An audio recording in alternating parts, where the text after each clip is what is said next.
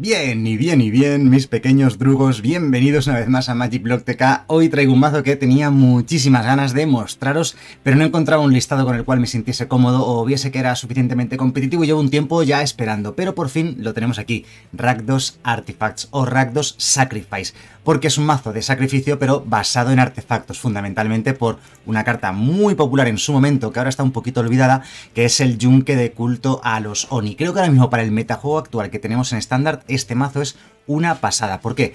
Porque tiene un flujo incesante de criaturas para poder derrotar a esos mazos de control tan molestos y tan pesados que está habiendo. Y además también tiene un montón de formas de ganar vidas para enfrentarte a las monored y de matar criaturas del oponente para enfrentarte a otros tipos de mazos agresivos o basados en criaturas. Un mazo como que lo tiene todo. Quizás tiene un mal enfrentamiento, podríamos decir, que son los mazos en general de Atraxa, de Domain Ramp, los mazos de rampeo de cinco colores. Ese quizás sea súper emparejamiento, pero claro, no hay ningún mazo perfecto. Todos los mazos tienen alguna debilidad. Y este mazo tiene pocas debilidades actualmente en el metajuego, salvo ese emparejamiento en particular del cual, pues yo qué sé, algún día habrá que inventar algo para poder ganar. Supongo que algo contra contra cementerios, contra... Bueno, ya veremos, ya veremos cómo lo hacemos. De momento no tengo la solución. Os digo que el mazo va bien, pero todavía no es perfecto. Bien, os comento, como digo, es un mazo de artefactos, por tanto vamos a llevar las mejores cartas relacionadas con artefactos. Y junto al yunque de culto de los, del culto a los Sony, tenemos por supuesto Sintetizador Experimental. Es una carta tremendamente buena de ventaja de cartas. Yo intentaría evitar jugarla de primer y de segundo turno. Es una carta para empezar a jugar en el tercer turno, sin haber jugado tierra, porque si sale tierra puede jugarla con el sintetizador. Luego además es un token 2-2. Bueno, muchas veces no pones el token 2-2 porque prefieres directamente sacrificar el sintetizador con un yunque sin tener que pagar 3 de maná. Este mazo al final tiene mucho peso de maná, aunque no lo parezca. Aunque veas que la curva de maná es baja, muchas de las cartas tienen habilidades en sus costes. Entonces ahí está un poquito la cosa. Bien, en cuanto más artefactos, tenemos por ejemplo Sibarita de Voldaren. Ella misma no es artefacto, pero pone un artefacto con una ficha de sangre, así que va a generar en ese sentido. Y lo mismo pasa con el cosechador de demos de sangre que lo puedes utilizar como anticriaturas, como criatura agresiva y además te pone ese permanente, no esa ficha de sangre, ese artefacto que luego vas a poder utilizar para otras cosas. Bien, estás deseando que se vayan muriendo tus artefactos, porque siempre que ocurra eso, Sir Genji, el fin de los banquetes, se va a poner muy grande. Y los he llegado a tener de 7 y 8 de poder. La verdad es que es una carta que me ha sorprendido, porque yo no pensé que fuese tan buena, pero sí, en el mazo adecuado, lógicamente, en un mazo de artefactos de sacrificio, va bastante bien. Incluso en alguna partida he, ganado por haberlo sacrificado, haber ganado un porrón de vidas y, haberme escapado de una derrota, por ejemplo, contra una monored o algo por el estilo. La criatura es legendaria, así que bueno, es una pequeña pega que tiene, pero bueno, como tiende a morir fácilmente o estás deseando que se muera, pues al final no importa demasiado que, te robes el segundo, va, a acabar siendo útil. Bien, una de las mejores cartas, por cierto, además eh, hay bastantes Planeswalkers en el metajuego, especialmente el, el Planeswalker quizás el que más se juega ahora mismo, la la emperatriz errante y bueno, pues lógicamente esto tiene prisa a arrollar antimaleficio siempre que haya un Walker en juego, así que a lo loco va como un cohete. Tenemos también un par de copias de Transmutado Látigo Cortante, que es especialmente bueno contra esos mazos Azorius de control, Esper de control, Band de control, esos mazos de control casi sin criaturas o sin criaturas directamente, que no tienen win condition prácticamente, bueno pues esta es bastante bueno contra ellos porque van a juntar siempre esas cuatro tierras no básicas y va a poder volver desde cementerio constantemente, lo cual combina súper bien con el yunque del culto a los o alguna otra carta que, ahora veremos, ¿vale?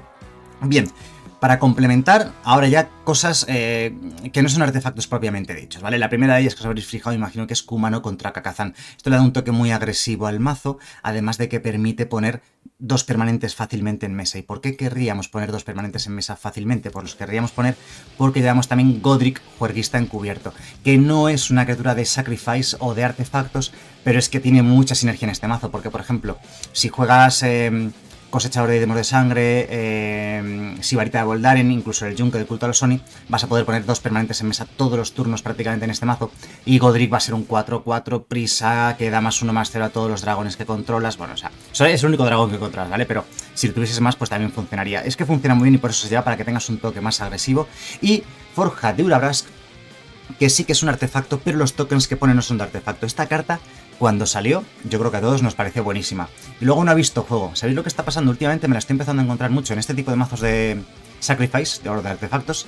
Y también me la estoy encontrando incluso ya en Monored Agro. Puede que esta carta por fin esté empezando a ver juego porque el metajuego se ha ralentizado y esta carta es brutal contra esos mazos de control. Si no se la quitan del medio les va a ganar la partida la forjadura Brask 2, o sea, bueno, asterisco 1, arrolla prisa que va a pegar 1, 2, 3, 4, hasta que al final es, totalmente letal. Bien, para terminar el mazo, además del cosechador de demos de sangre, que es un pequeño removal que tiene el mazo, tenemos tres copias de incendiar la torre que te permite sacrificar fichas, artefactos eh, eh, o encantamientos, ¿no? Era, estoy mirándolo mal, es artefactos, encantamientos o fichas, correcto, sí, no lo he dicho mal. Y eh, la mirada aniquiladora que te permite sacrificar una criatura o un artefacto para reducir su coste en 4. Bueno, mejor dicho, para que su coste no se eleve en 4, vamos. Removal super eficiente. Y por último, una copia de Bran, Barón Verdugo, que por cierto, yo he estado probando bastante el mazo. Eh, os voy a dejar el listado así tal cual está, debajo del vídeo en la descripción. Pero me ha ido tan bien este Bran, Barón Verdugo, que yo ahora mismo cambiaría un brand de estos, metería dos o tres brands y quizás quitaría eh, los grabados, los humanos contra Kakazan seguramente.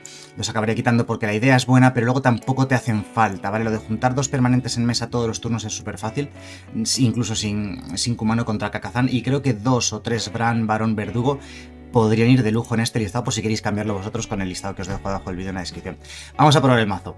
Vamos a ver qué tal a ver qué tal nos va. El mazo yo lo estoy jugando y tal, la verdad es que no no me está pareciendo que sea un tier 1, ni mucho menos, como que no ganas todas las partidas ni fácilmente, pero juegas algo un poquito fuera del metajuego, es un estilo que me gusta mucho. A mí, a mí al menos me gusta mucho Rack 2 Sacrifice en general, o Rack 2 de artefactos, y creo que a muchos de vosotros también.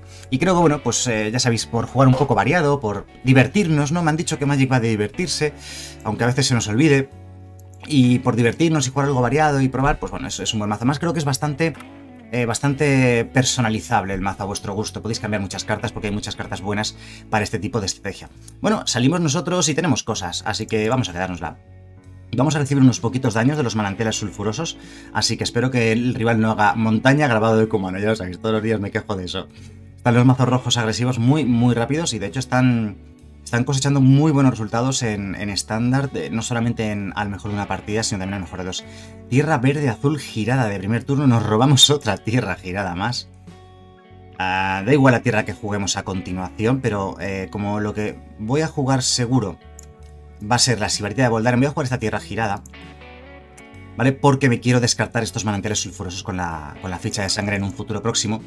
Y prefiero tener ya la tierra doble por si me robo más tierras dobles, que no me hagan pagar vidas o me hagan daños, pues prefiero seguir jugándolas, ¿vale? De momento no ha ocurrido, pero puede ocurrir ahora porque voy a jugar el sintetizador experimental. A ver si sale tierra. Efectivamente, salió tierra, otra tierra que tampoco es que me haga especial ilusión, pero bueno, es la que vamos a jugar. Era un buen turno, diréis, era un buen turno para hacer ya forjadura, Bueno, pues otro día. Otro día. No, Ojito, ¿habéis visto que cuando iba a jugar esta carta me quería filtrar el maná y girarme las dos tierras para no recibir daño de la sibarita? Pero como estoy enfrentándome a algún extraño mazo verde-azul, que ahora mismo no tengo ni idea de qué, será, voy a jugar la sibarita de Voldaren así, tal cual. Los manantiales sulfurosos me los voy a descartar. Tenemos tres fichas de sangre, el rival está a 14 de vida, la verdad es que hemos salido agresivos con criaturas 1-1 que hacen un daño al entrar en juego, y ahora también blanco, vale, pues es una band de control.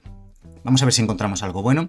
Eh, aquí el problema es que seguramente el rival tenga un contrachizo y esta forjadura Brask mm, posiblemente no salga bien. Como creo que no va a salir bien la forjadura Brask, voy a jugar tierra este turno y voy a hacer Sokenzan. Voy a hacer la Sokenzan porque no es un hechizo, es una habilidad, no puede contrarrestarlo, y son 2-1-1 prisa, el rival no creo que lleve un removal masivo de coste 4, me imagino que lo llevará de coste 5, así que este turno no va a matarnos todas nuestras criaturas y se va a quedar ya con una cantidad de vidas muy baja. Y de hecho, cuando se gire, se nota mucho que hemos salido. Esta carta me encantó cuando salió y luego no he visto nada de juego. Una carta muy buena, como podéis ver, de ventaja de cartas, instantánea además. Más que bueno, es azul-verde, claro, el azul, la combinación azul-verde no es muy popular en estándar, pero una carta muy buena esta exploración conjunta. Bueno, como os digo, si él se girase, Ahora, por completo, ya sí le colaríamos eh, la forjadura Brask. Y no se gira tampoco. por tanto, no voy a jugar la forjadura Brask todavía, sino que lo que voy a proceder a hacer va a ser atacar sin más. Es que no quiero que me la contrarresta. Quiero que él se gire para hacer, por ejemplo, una emperatriz errante o se gire en su turno para algo más. No sé qué está haciendo el oponente, pero no está haciendo nada.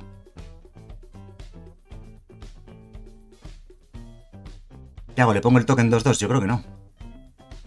Pero es que si no perdemos el turno. Voy a hacerlo, venga, va. Ponemos el token 2-2. Creo que va a tirar un removal masivo, pero si tiene un removal masivo. Se va a girar por completo y le vamos a meter la forjadura brasca al siguiente turno. Así que me sirve. Mira, pues un...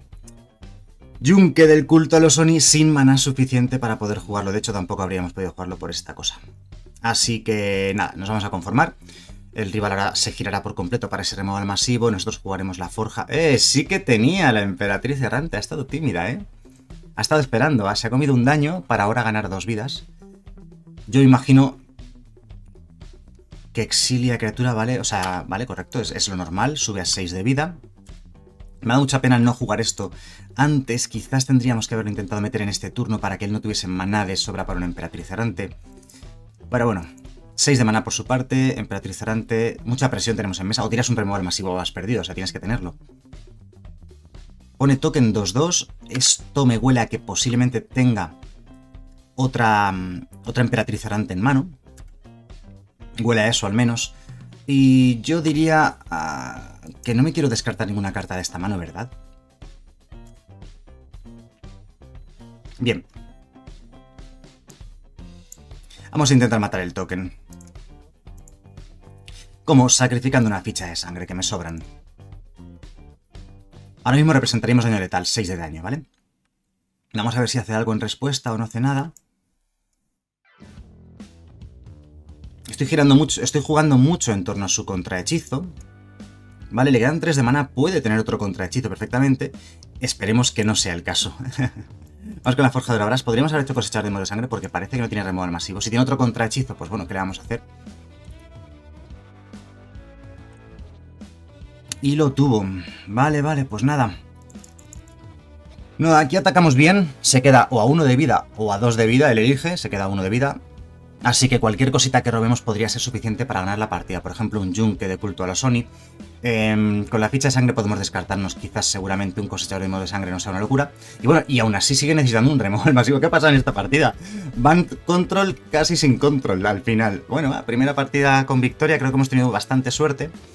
Eh, porque el rival no ha jugado ese removal masivo que tanto temíamos. También es cierto que si hubiese jugado el removal masivo girándose por completo en su turno, le habríamos clavado alguna amenaza que a largo plazo seguramente le habría costado la partida, ¿no? Band Control, verde, blanco, azul de control, que es a lo que nos estamos enfrentando, se ha popularizado porque en el Mundial hizo top 8, eh, o sea, hizo un gran resultado. Y es un mazo que tengo ya ahí preparado, ya os lo conté, ¿verdad?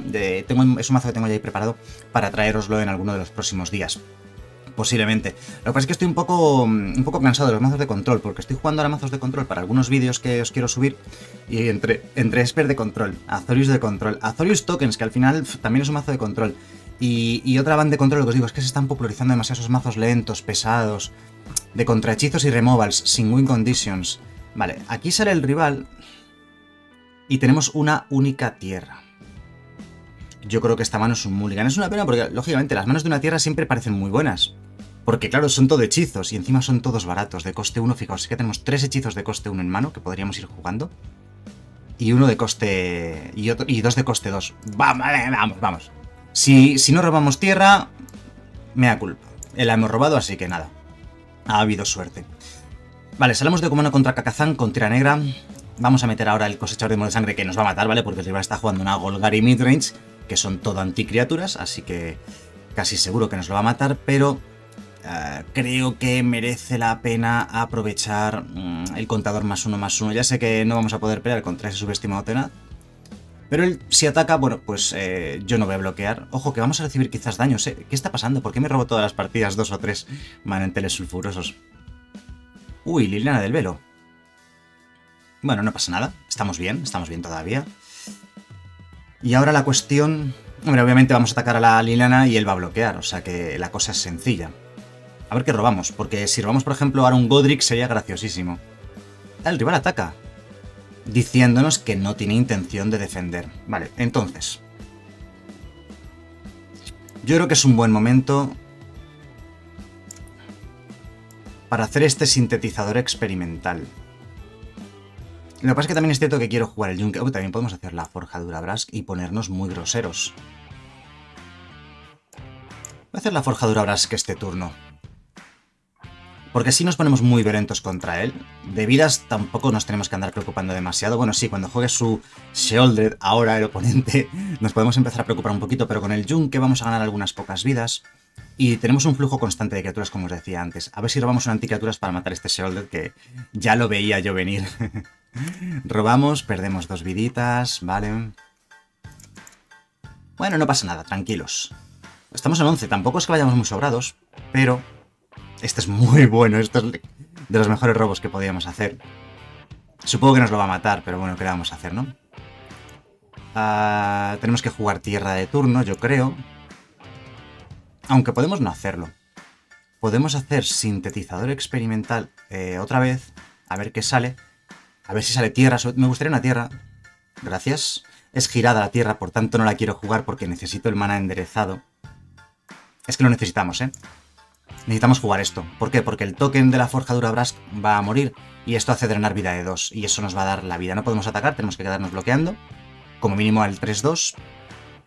Y el, fallo de no haber hecho el yunque es que no tenemos un token 1-1 todos los turnos para poder bloquear al Sheold, que pega bastante. Vale, nos va a matar ya el Bran, supongo.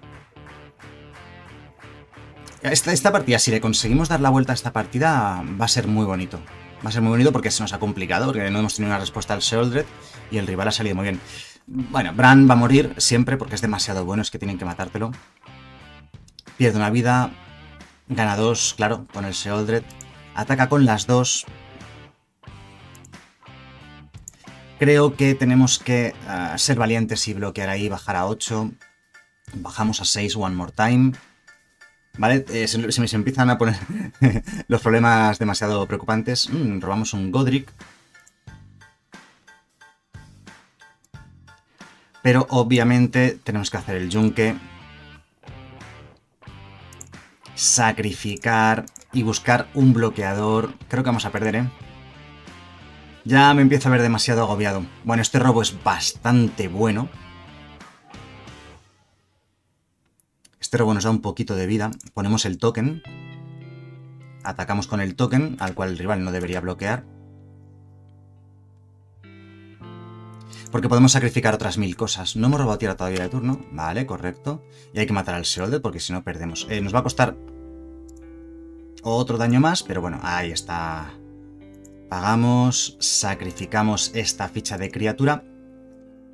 Y bueno, nos hemos quedado en 5 de vida. ¿Que es posible que el rival me haga de otra vez y nos gane igualmente? Pues es posible. Con esto es que nos quedamos ya a dos. O sea que tenemos que. Yo creo que tenemos que bloquear para intentar minimizar la pérdida de vidas. Así que bloqueamos ahí tranquilamente. Nos quedamos entonces con tres vidas nada más. Lo digo por si jugase un Seoldred ahora. No morirnos automáticamente. ¿Qué hacemos? Eh, ¿Descartamos y robamos? Yo creo que no. Me quiero quedar todo lo que tengo, mira, prefiero esto.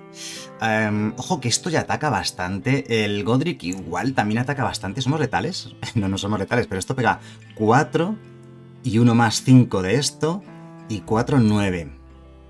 Parece tontería, pero no lo es. Vamos a ver qué nos da este sintetizador experimental. Así en mi fase principal, antes, antes de nada. Ya ganamos una vida, ponemos el token 1-1, vemos que podemos jugar, bueno, un Kumano contra Kakazan que probablemente juguemos. Em,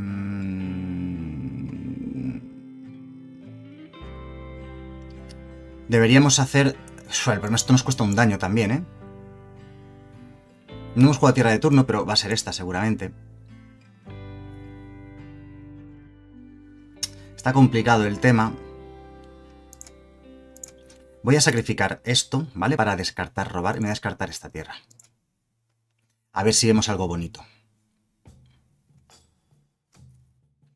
Acabamos de ver algo bastante bonito, como es un yunque de estos, el cual vamos a jugar recibiendo un daño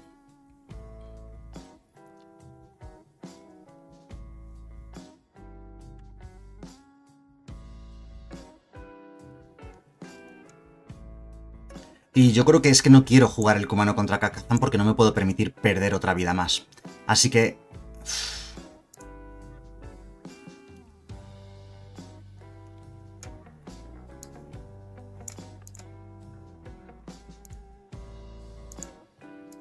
Vamos a poner el token atacamos, no hay otra.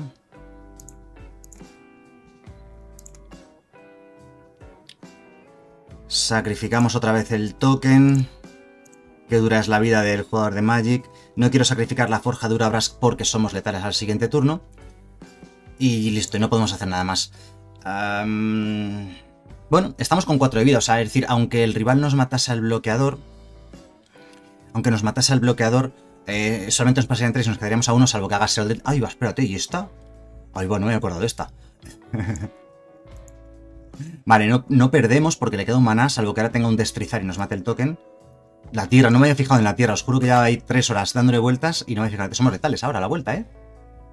Hemos ganado. Jugamos tierra de turno.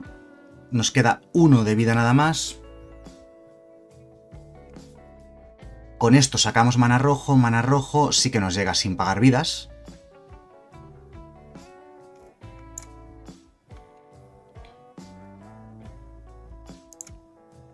Ponemos el este. Atacamos con las dos, 5 y 4, 9. Sacrificamos esto. Y encima ponemos dos tokens, ganamos una vida, no perdemos, 5 y 4, 9. Bueno, al final, perdóname que juego un poquito lento, pero porque ha sido una partida bastante complicada en las decisiones y al final hemos conseguido levantar, remontar una partida que yo pensaba que estaba bastante perdida. Hemos tenido... Mm, menos mal que hemos podido matar el Solder, porque si no sí que habríamos perdido la partida. Con ese doble jump que hemos aguantado bastante. Ojo, qué partida más bonita, ha estado muy bien. Hemos remontado desde, desde una posición complicada, jugando con cabeza, y con un poquito de suerte, por lo de siempre, siempre hace falta un poquito de suerte para ganar las partidas, porque al fin y al cabo eh, Magic eh, tiene un componente de azar muy grande y, lógicamente pues a veces te favorece, a veces te favorece. Así que bueno, ha estado bien. Hemos tenido suerte creo en las dos partidas que hemos ganado, porque el rival no ha tenido justo lo que necesitaba para ganarnos. Que podría haberlo tenido, ¿no? Así que y entonces habríamos tenido mala suerte. No hay término medio. O se tiene buena suerte o se tiene mala. Vamos a ver, ¿qué tenemos por aquí? Tenemos cosas. ¿Qué pasa con los manantiales sulfurosos? Me están matando los manantiales sulfurosos. Nosotros obviamente es una mano que nos podemos quedar y parece, todo apunta que nos estamos enfrentando al mismo mazo de antes, una Golgari midrange probablemente, ¿vale? Es la única baraja ahora mismo del formato que está jugando este tierra. ¿Vale? Segundo turno, subestimado tenaz. Vale, salimos exactamente igual que antes. Yo diría que quiero aprovechar Quiero aprovechar el contador más uno más uno, así que vamos con el Sir Genji o como lo queráis leer, porque en español pone Sir Genji. Pero como es del mundo de la fantasía y las piruletas, pues lo podéis llamar como queráis. Vale, Liliana del Velo otra vez. La misma, exactamente la misma salida de la partida anterior. Lástima porque este Sir Genji se habría comido a la Liliana el siguiente turno. Bueno, no pasa nada, tranquilos, porque aquí le vamos a hacer un poquito el lío al oponente. No tendría que haber jugado tierra, quizás. Lo que sí veo claro es que le vamos a matar el... Da igual el orden, pero hay que matar cosas. El subestimado tenaz. Vamos a matar a esa línea del velo. Y yo creo que voy a jugar otro Kumano contra Kakazan me da miedo como antes pasó. El Bran es que es tan matable que te lo van a matar, básicamente. Entonces, prefiero esperarme un turnito más, ¿vale? Aquí el rival pierde otra vida, baja a 17. Oye, pues nos ponemos agresivos, ¿eh? Y lo juegan, ¿vale? Eh, bien, esto es un robo... Buf.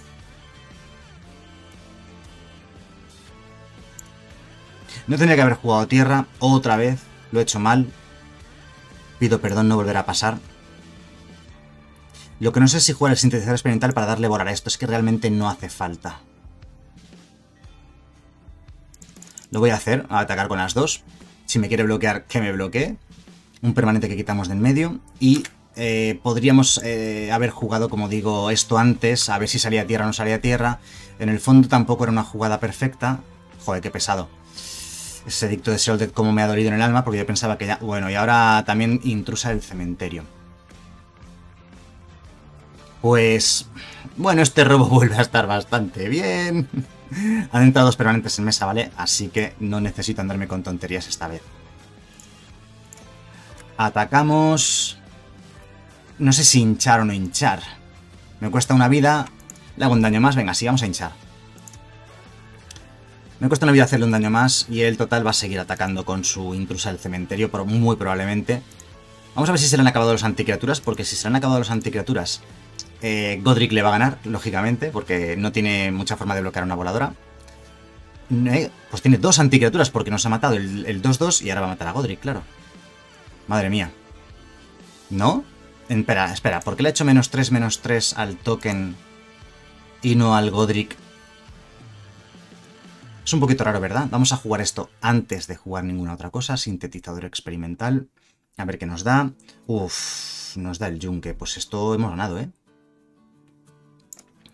Yunque. Dos permanentes que han entrado en juego. Voy a sacrificar ya el sintetizador porque aún no hemos jugado tierra de turno. Si sale tierra la vamos a jugar. Y si no sale tierra, jugaremos el Bran. Fue, encima sale tierra, pero tierra que entra girada. Ah, Tendría que haber hecho el Bran antes... No, no, todavía no, todavía no, está bien, es correcto. Voy a jugar, voy a jugar el Bran.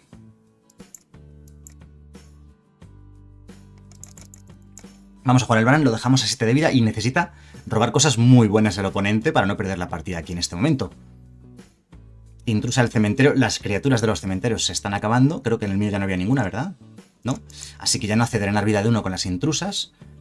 ¿Vale? El Glissa está guay, pero robar carta le va a costar una vida. Rompe encantamientos, ¿verdad? No artefactos, vale. Y remueve contadores. Podríamos bloquear simplemente para que este bicho se muera. Pero es que no tengo más artefactos. Nada, no vamos a bloquear, prefiero comerme 3 de daño. Para poder sacrificar con el propio yunque. Y lo que él pueda hacer, tampoco, mira, pues pierde una vida más, pues se acerca un poquitito más a la muerte, ¿no? Ya con el yunque. Y aquí pues ya estaría la victoria. Dos permanentes, claro, lógicamente. Con la Sibarita Voldaren estaba pensando si se cambiar el orden o algo. Atacamos solo con esto y victoria con el drenar vida de uno del yunque y lo que podemos hinchar al, Godric. Pues cuando habéis visto al principio del, del deck tech, ¿vale? De este vídeo, habréis pensado, oye, eh, Godric no pinta nada en este mazo. Mira si pinta, es el que gana las partidas. O sea, no desentona del todo en el mazo, ¿vale? Porque al fin y al cabo es un mazo con rojo, con muchos permanentes que entran en juego, es una criatura agresiva y es una excelente win condition. Nos ha dado la victoria a Godric realmente en esta partida totalmente. Eh, me habría gustado con la Forja Dura Brask ganar alguna partida para que lo vieseis jugando lento contra algún mazo de control, pero el Junke también ha hecho un gran trabajo, es una carta que cuando salió pues, pues fue muy buena y, y lo sigue siendo. Así que un videazo, espero que el vídeo os haya gustado y nos vemos en el siguiente. Hasta luego.